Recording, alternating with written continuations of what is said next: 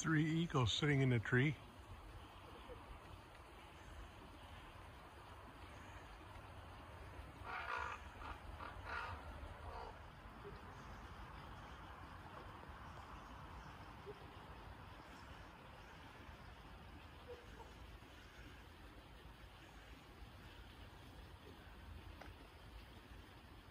The one is pretty hard to see. It's right in there. That's a young one. There's a one. And then there's a crow. Right there.